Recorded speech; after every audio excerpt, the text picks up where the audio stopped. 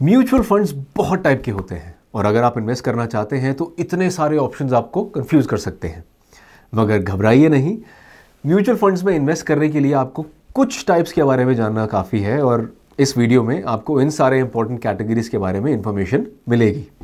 मगर इससे पहले कि हम इस बात पर आगे डिस्कस करें, एक क्विक रिमाइंडर अगर आप इस तरह के और भी वीडियोस देखना चाहते हैं तो सब्सक्राइब बटन पर ज़रूर क्लिक कीजिए और नोटिफिकेशन बेल हिट करना ना भूलें। चलिए अब शुरू करते हैं।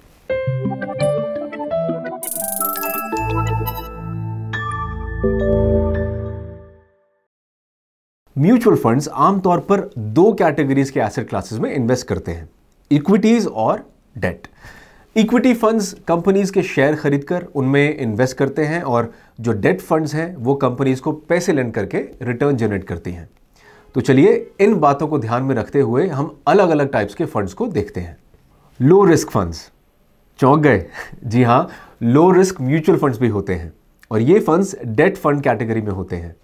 ये पैसे सिर्फ़ टॉप रेटेड कंपनीज़ को लेंड करते हैं, वो भी शॉर्ट पीरियड के लिए।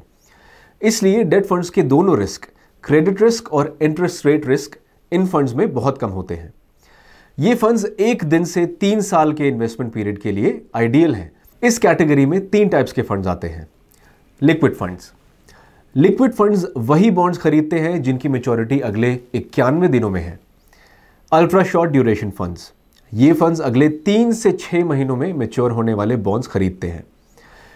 लो ड्यूरेशन फंड्स और ये फंड्स अगले छह से बारह महीनों में मेच्योर होने वाले बॉन्ड्स खरीदते हैं। इन सभी केसेस में बोरोवर बॉन्ड मेच्योरिटी के टाइम पर पैसे लौटा देता है और उस टाइम तक बोरो किए हुए पैसे पर इंटरेस्ट देता है। Tax saving mutual funds ELSS यानी equity link saving scheme mutual funds आपको टैक्स सेविंग के साथ पैसे ग्रो करने के चांस देते हैं।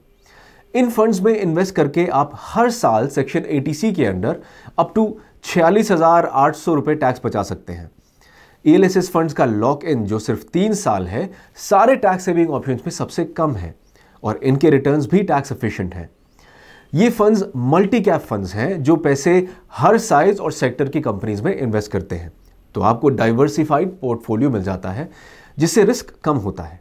मॉडरेट रिस्क फंड्स कुछ डेट फंड्स भी इस कैटेगरी में आते हैं, पर अगर आप मॉडरेट रिस्क लेने के लिए तैयार हैं तो हाइब्रिड फंड्स आपके लिए एक बेटर कैटेगरी होगी।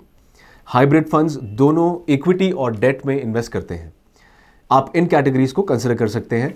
एग्रेसिव हाइब्रिड फंड्स ये फंड्स इक्विटी में ज़्यादा एलोकेट करते हैं, आपके पैसे को ग्रो करने की कोशिश करते हैं और थोड़े पैसे डेट में डालकर स्टेबिलिटी भी प्रोवाइड करता है।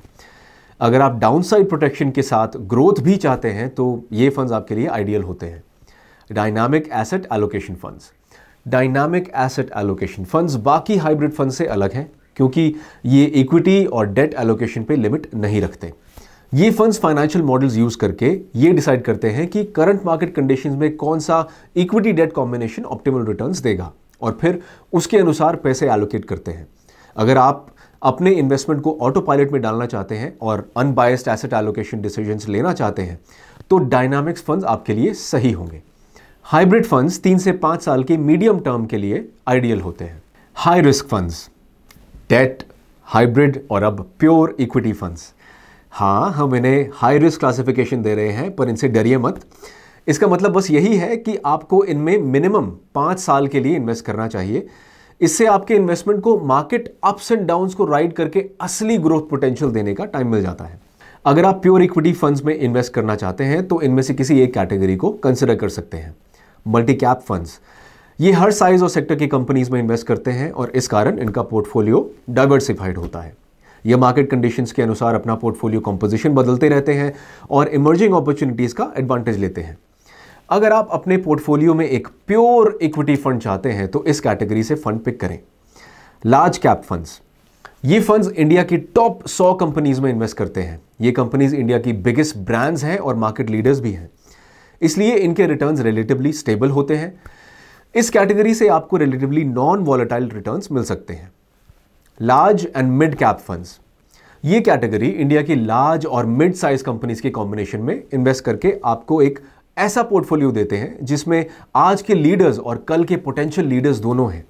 Very high risk funds investment style और इन्वेस्ट करने की जगह के कारण इन फंड्स का रिस्क हाई होता है। अगर आप बिगिनर हैं तो ये फंड्स आपके लिए सूटेबल नहीं होंगे। और अगर आप एक्सपीरियंस्ड इन्वेस्टर हैं तो भी अपने पोर्टफोलियो का बस छोटा एक पोर्शन इनमें इन्वेस्ट करें। मिड कैप फंड्स ये फंड्स अपने इन्वेस्टमेंट्स इंडिया की मिड साइज़ कंपनीज़ में इन्वेस्ट करते हैं। ये कंपनीज़ फास्ट ग्रोइंग होती हैं और इसी वजह से ये फंड्स लॉन्ग टर्म में बाकी कैटेगरीज को आउट परफॉर्म कर सकते हैं। पर इन कंपनीज़ के साइज़ के कारण इन पर एडवर्स मार्केट कंडीशंस का ज़्यादा असर होता है और इसलिए इन फंड्स के रिटर्न्स काफ़ी वॉलेटाइल हो सकते हैं। स्मॉल कैप फंड्स ये फंड्स अपने मेजॉरिटी इन्वेस्टमेंट्स इंडिया की स्मॉल कंपनीज़ में इन्वेस्ट करते हैं। पर आगे जाके ये कंपनीज़ मिड कैप या लार्ज कैप भी बन सकती हैं। तो ये फंड्स आपको इंडिया के पोटेंशियल फ्यूचर स्टार्स में इन्वेस्ट करके इनके ग्रोथ से बेनिफिट करने का चांस देती हैं। मगर हर कंपनी सक्सीड नहीं करती है और इस कारण इस कैटेगरी का रिस्क और वॉलिटिलिटी काफ़ी हाई होते हैं। सेक्टोरल फंड्स ये फंड्स एक स्पेसिफिक सेक्टर में इन्वेस्ट करती हैं जैसे कि आईटी, फार्मा बैंकिंग एक्सेट्रा इनका एम होता है कि आप किसी एक स्पेसिफिक सेक्टर के ग्रोथ से बेनिफिट करें। क्योंकि ये फंड्स डाइवर्सिफाइड नहीं है सेक्टर का डाउन टर्न इन फंड्स में बड़े लॉसेस ला सकता है। सो बी केयरफुल तो ये थे डिफरेंट टाइप्स के फंड्स हर फंड अपने यूनिक बेनिफिट्स के साथ। क्या आप इनमें से किसी में इन्वेस्ट करना चाहते हैं? तो नीचे दिए गए लिंक को क्लिक करें ईटी मनी ऐप डाउनलोड करें और इन सभी कैटेगरीज के टॉप म्यूचुअल फंड्स के zero percent commission direct plan में इन्वेस्ट करें। ये सौ परसेंट पेपरलेस और कंप्लीटली फ्री भी है। और हाँ अपने फ्रेंड्स के साथ ये वीडियो शेयर करना मत भूलिएगा। एक और इंफॉर्मेटिव वीडियो के साथ आपसे फिर मिलने की उम्मीद करते हैं। Mutual fund investments are subject to market risk read all scheme related documents carefully